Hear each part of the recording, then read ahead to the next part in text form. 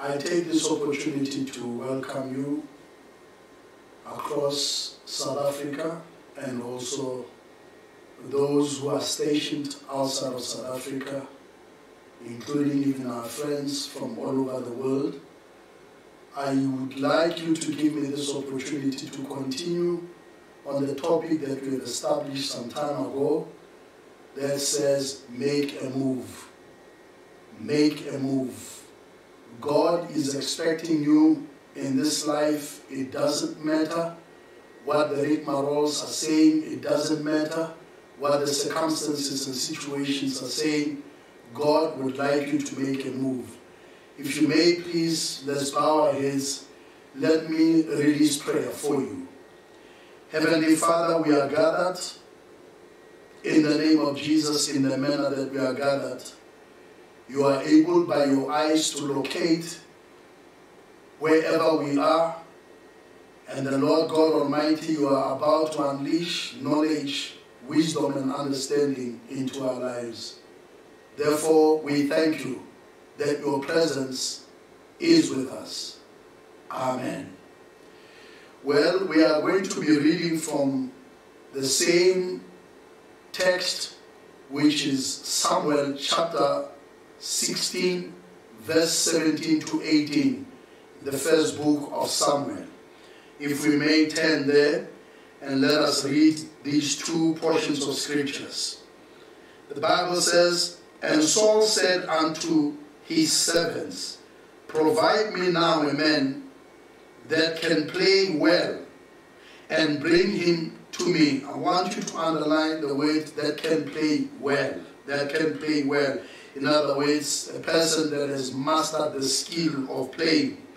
And going to verse 18, it says, Then answered one of the servants and said, Behold, I have seen a son of Jesse the Bethlehemite that is cunning in play, and a mighty, valiant man, and a man of war, and prudent in matters, and a comely person, and the Lord is with him. I said to you when we were establishing this category of the Word of God that I said I am going to attempt to give you or establish a comparative analysis to the resume of Saul and of David. And I said that these scriptures are giving to us a glaring and a difference between the profiles of Saul and of David, and how ultimately they were led to their thrones. We highlighted that Saul was largely selected based on his physicality. That his physicality built around his charisma. And then I showed you from the scriptures as we read in 1 Samuel chapter 9, verse 2, that much of the highlights about his selection were based on his face and also on the nature of his height. And when Prophet Samuel wanted to replay that record when he came to Bethlehem to come and do the anointing as instructed by God, what he was looking for was that kind of a charisma. But God had to change his method as to how he needed to choose a leader. And in 1 Samuel chapter 16, verse 7, it highlights that. That God was saying he must not be persuaded by the looks and by the physicality. God wanted him now to move away from the outward appearance and God wanted that he should focus on the inner qualities. So God is exposing the human tendencies in the manner in which they go about selecting leaders. Yet, it becomes very strange because when you look at institutions, organizations, and families, they do not look at outward appearances. They are not moved by the looks, but instead, they understand that looks are short lived. So, in this manner, God is bringing that kind of a lesson that when we are going to be focusing on physical appearance, on the outwardness, that is not long lived, it is short lived. So, God is contrasting that with the selection of David. He said, I have chosen for myself in the house of Jesse. And God therefore goes much deeper to show us what is it that he has chosen. So largely, we see that God focused on inner qualities or the acquired practices that were upon the son of Jesse. And these, they form universal traits in the manner in which leadership and in the manner in which people are selected. These are universal qualities, and I would say to you that they are also timeless. And I would like that you should give me the opportunity that I go a little bit deeper because you need to work on these inner qualities. You need to develop them. You need to grow yourself into them. According to the book of Luke, chapter 1, verse 80, the Bible says, And the child grew and waxed strong in spirit and was in the wilderness till the day of his showing into Israel. I want you to underline that, that in the wilderness. Wilderness here might not literally be the wilderness, but we can euphemize and say that wilderness it is a place of obscurity. It is not a place of public domain. And uh, it says he grew in there. That means the stature of who he was was not into public scrutiny. However, once he had developed those particular traits, he was more confident that he could show himself in the public's eye. So, same with David here, that it shows us that there are people in this life prematurely who move into public scrutiny but they lack the development of particular traits. So, with David, when he was now revealed, he was of full package. That is, was now all rounded. A pity that in our situations, there are many people who avoid training.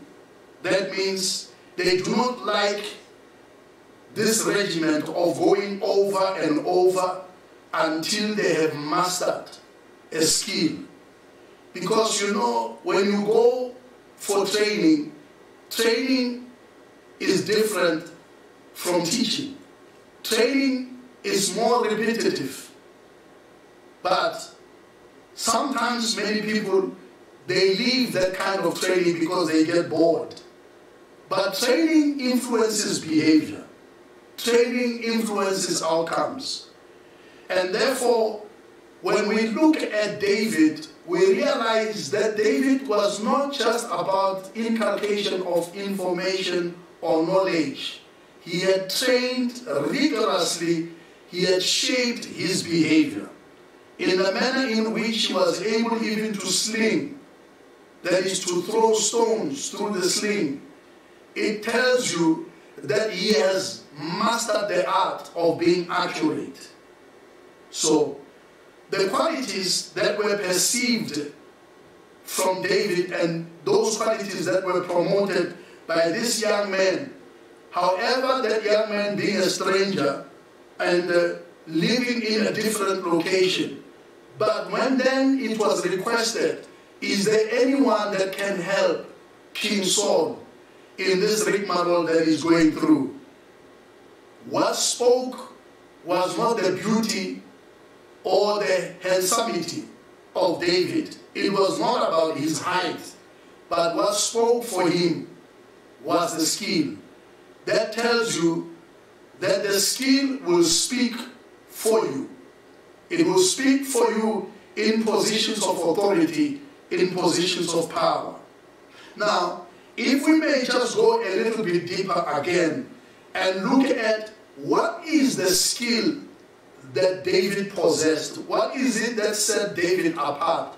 What is it that made David to be unparalleled? Number one, this young man, when he stood to raise the profile of David, he spoke about David being cunning. That means he had acquired a special skill. That is what has set him apart. I said to you, that has made him to be unparalleled. In other words, you could not compare him with his peers. So that tells me that skill will produce required results in anybody's life. Skill will make you to exude particular competencies. Skill will open doors for you.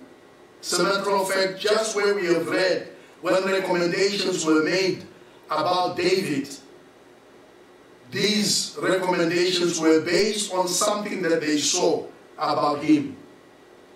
David, when he came before Saul, he was full packaged. And this is where I want to say to you, you need to develop skill in your life. Because skill has got a voice, skill has got a language, skill will speak for you. I say skill will speak for you. Varied things were experienced by Saul. Diverse kind of things were experienced by him. But as soon as he had a need in his life, he did not require any beauty, he did not require any fashion streaks, but he zoomed on what was required. It was the skill. Now, let me say to you that when I say that David came not only through the skill, but he came as a full package. There are certain things that you would need also that you need to develop besides the skill. The skill will open the door for you. The skill will make your CV to be read.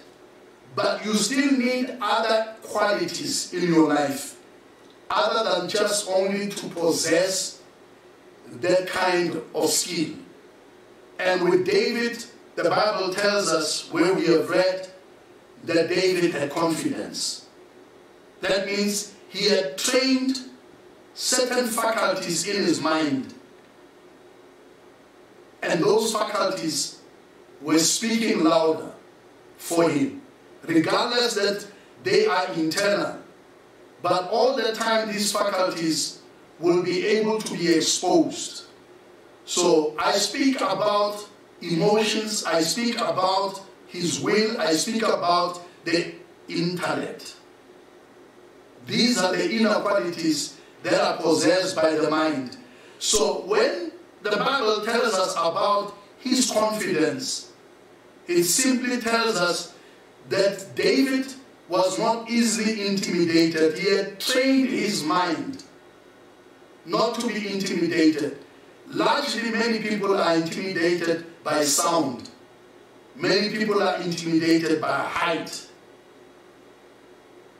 But to him, those were no factors that would intimidate him.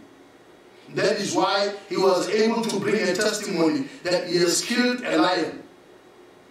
You know that a lion largely majors in sound. Once it roars, it sends shivers down the spine of animals in the jungle.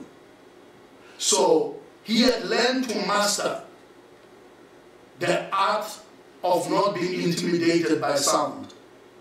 And again, he says he had killed a bear. A bear largely, it's about height. It will intimidate you because it's larger. However, David had mastered that his brain power will not be intimidated by any height. So, can I submit to you that David had much confidence? He was not intimidated by any kind of height. And that was more transported. It tells me that the skill can be transported. You can be able to take it from one geographical location to the other. When he was faced with Goliath, Goliath demonstrated even these two categories. He was louder in the manner in which he spoke, and that intimidated many other people. He was also great in height.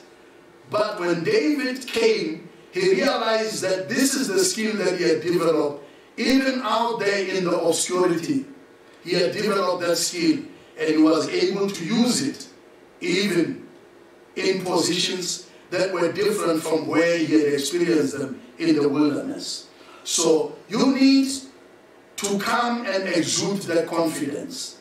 So that, that will take training that you go over and over and over to develop the mastery of confidence.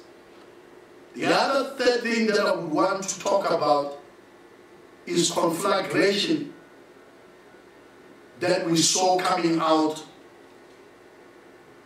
of David. He carried what I say his ability of formulating strategies and tactics beyond the wilderness. In other words, he established a formidable army from the outcasts, from the fugitives, and those who were abandoned.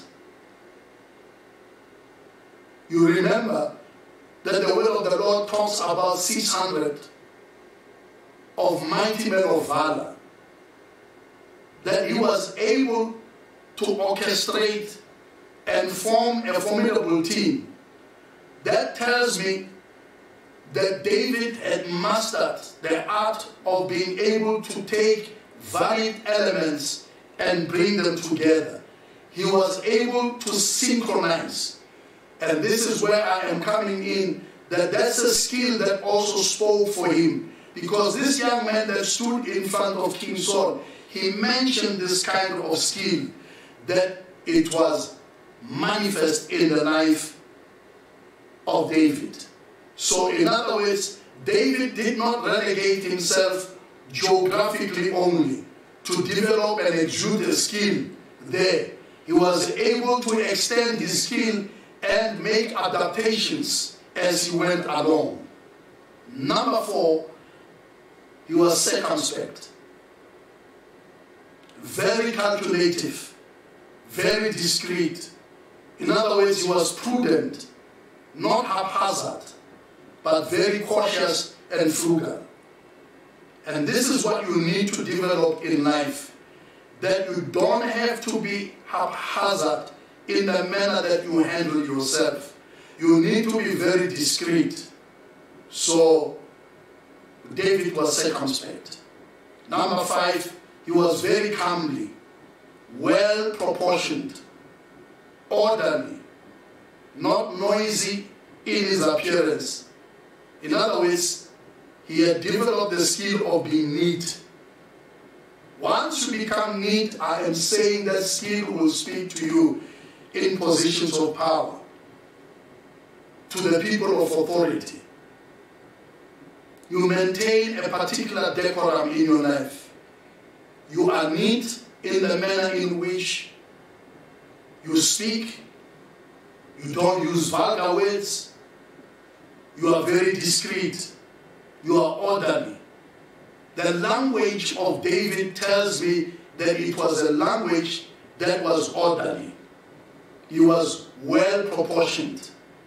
Lastly, number six, this young man spoke about David being congruent.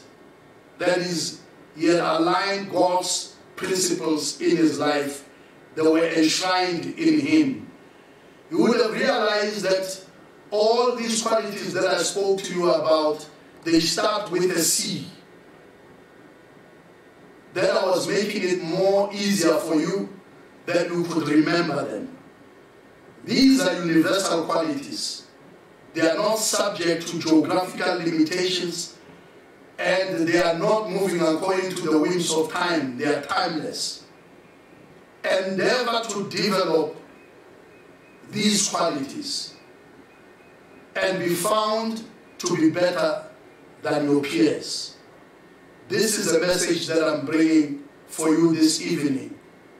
I would want you to go over and over and over on this message and learn to develop these qualities. They will speak volumes for you to the positions and echelons of power, to people of authority. It's not only just your CV.